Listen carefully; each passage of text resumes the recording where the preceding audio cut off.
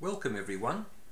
In this video I'll be featuring the largely forgotten but brazen assassination of Virat Asavachin, also known as Mr. Ban, who owned uh, Ban's Diving on Koh Tao, which is now one of the very biggest diving schools in the world. If you wish to access information about murders and other violent crimes on Koh Tao, information that is not necessarily covered, or at least not necessarily well covered, in the mainstream media, then please subscribe to this channel and click the, um, the button below. Often there is insightful information as well within the comments that some viewers uh, leave uh, beneath the videos, so those comments can be worth reading too. Okay, so let's start our coverage of Mr. Ban's murder with some comments uh, written by Dale Halpin of the Bangkok Post and which was published on the 28th of September 2014 which some of you will be aware was 13 days after the very ghastly murders of Hannah Witheridge and David Miller. So I'll just read a portion of uh, what he wrote and the sub-headline was uh, the handling of Koh Tao murders raises fresh questions of police incompetence since history is littered with botched investigations. And then uh, one of his paragraphs uh, he writes, It's not the first murder on the tiny resort island that has left police baffled. In 2002, Tambon Koh Tao Administrative Association Chairman Virat Asavachin was shot dead in broad daylight while talking with three friends on Ree Beach, he means Sairee Beach. A lone gunman, his face covered with a balaclava, walked up to the group and fired six shots at Virat before calmly walking away. No arrests were ever made, despite rumours that killing may have been uh, may have stemmed from a dispute between warring mafia families. Okay, so that was what was written on 2014. And it seems that the Bangkok Post had um, published a contemporaneous article in February of 2002, but which uh, I've been unable to find online. However, it was republished in at least one online forum called sporttoday.org on the 15th of February 2002 and I'll just read from uh, from that.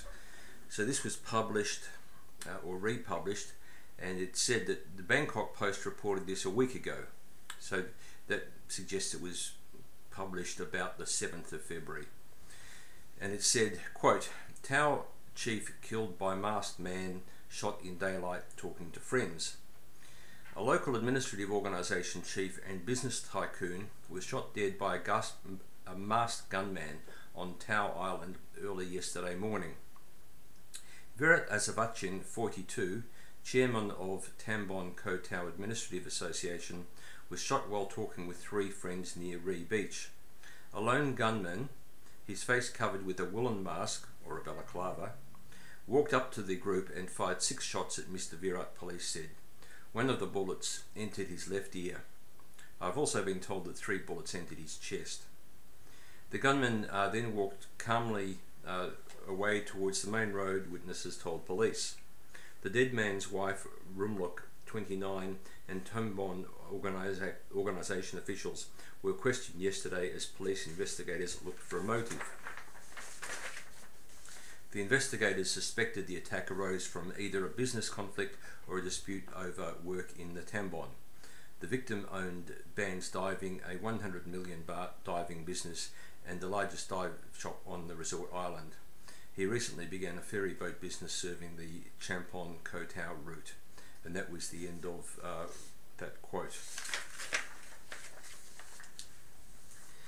Now, on the 30th of May 2021, one of my viewers, uh, using the name of Terry Graham, posted these public comments beneath uh, my video tribute to 20 foreign victims of Koh Tao.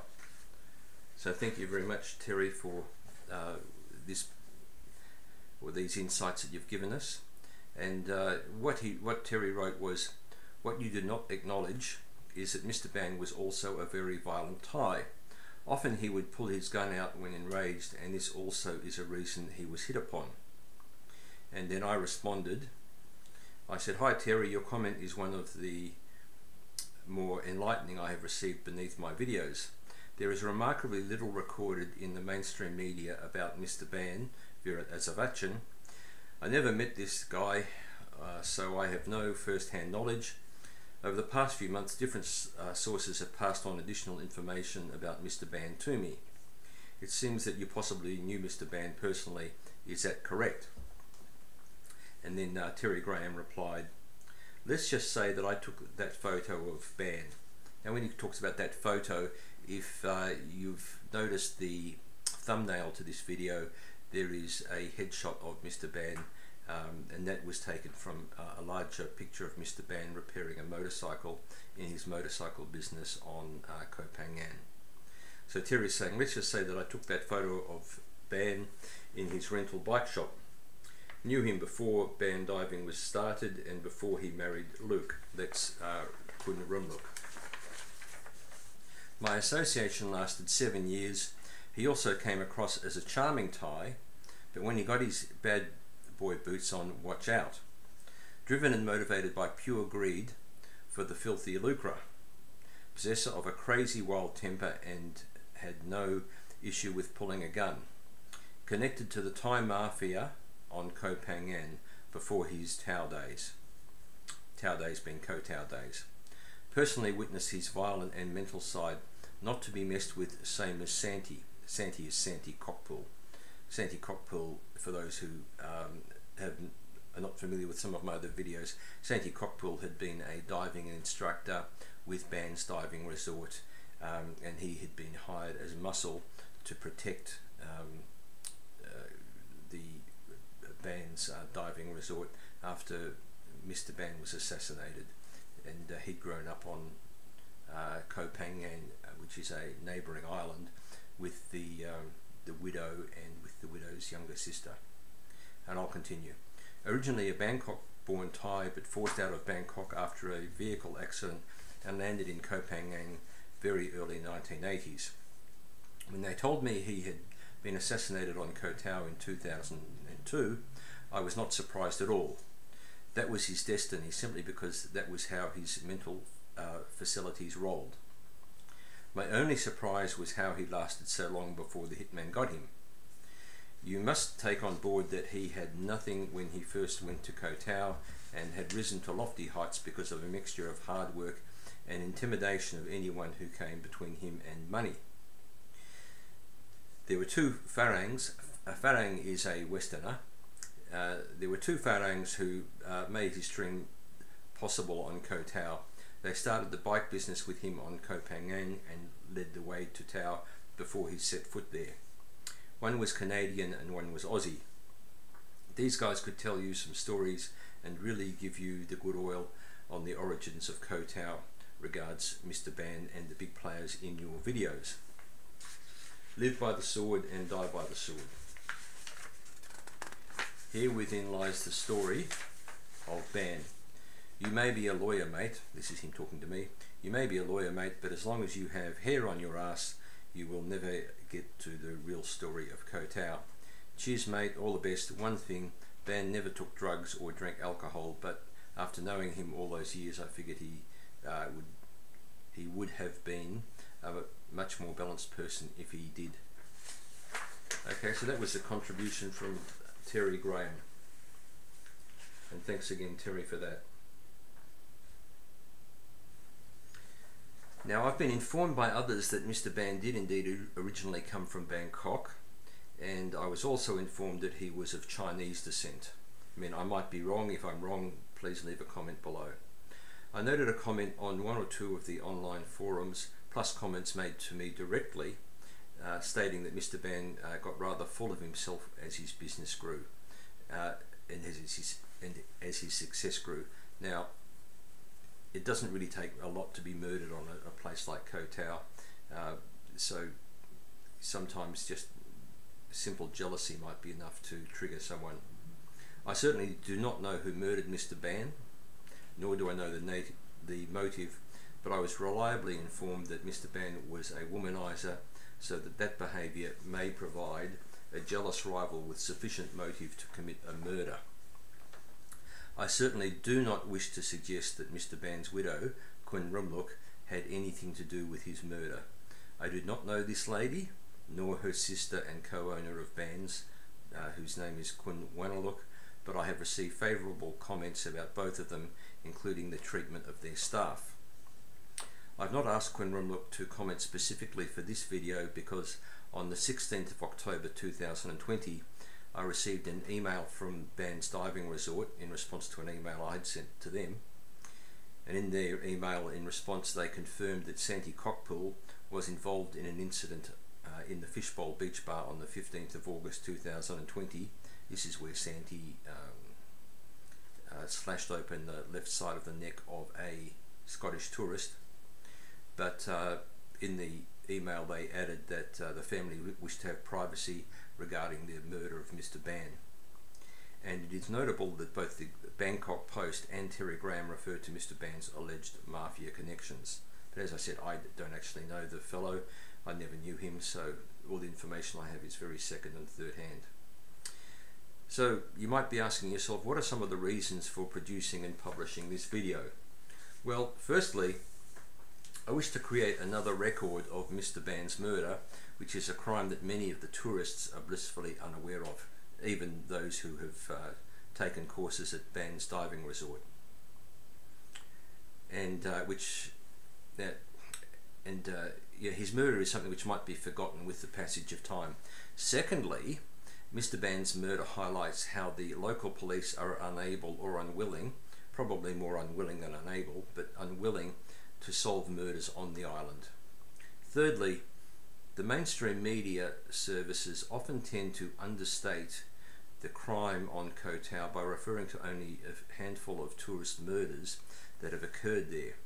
They often look, overlook some tourist and expat fatalities and often completely disregard murders of Thai nationals. It really should not have been such a surprise to the outside world when David Witheridge and uh, Hannah sorry, when Hannah Witheridge and David Miller were brutally bludgeoned to death on the 15th of September 2014. I've published details of several tourist deaths from 2000 until the time of that double murder, and I'll uh, put some links in the uh, description below. And really, when you think about it, a lot of these islands have got very violent communities. So when a tourist industry is built on top of some very violent communities, it shouldn't be at all surprising that uh, a lot of tourists wind up um, either being murdered or subject to other violent crime. Now, one of the uh, pieces of reporting which I saw, which concerned me a little bit, uh, came from the BBC immediately after the murders of Hannah Witheridge and David Miller there the in this report it was uh, or the island was regarded as um, a normally peaceful island. But I'll just play it for you here. This is something which I reproduced in one of my other videos and I'll leave a link for this below as well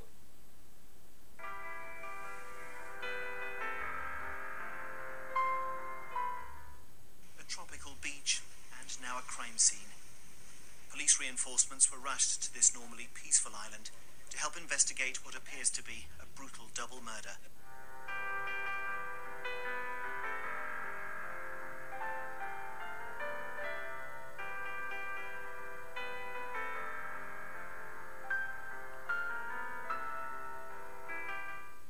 This has to be the most unlikely place you'd expect to see a crime like this, and that, of course, is what the locals are hoping, that it is just a ghastly one-off and that once it's solved, they'll be able to recover the laid-back vibe that's brought so many thousands to visit over the years.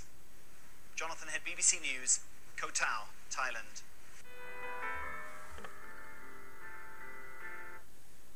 Okay, now Jonathan Head had uh, done some very good reporting on the Koh Tao murder trial immediately after the um, the judgment had been handed down but I'm I get concerned when there are reports that describe Koh Tao as a normally peaceful island or that uh, express any surprise that uh, such violent crimes have been occurring there.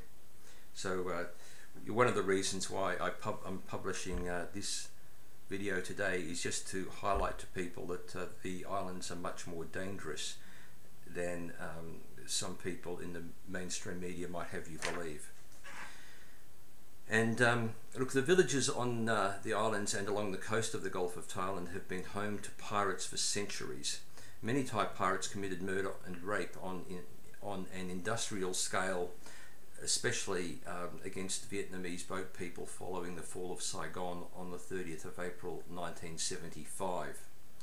So murder on these islands is nothing new and neither are the cover-ups. I've also heard anecdotes from expats about murders on these islands in the 1980s and 1990s that were simply covered up by the police and locals and then promptly forgotten. So these islands are basically quite lawless. If you thought this video was useful, please give it a thumbs up and um, you know if you want to leave any constructive comments below uh, I'm sure that other viewers will appreciate reading them and I certainly enjoy reading them as well. And of course new subscribers are all, always welcome. So uh, look, thanks so much for watching and stay safe. Bye for now.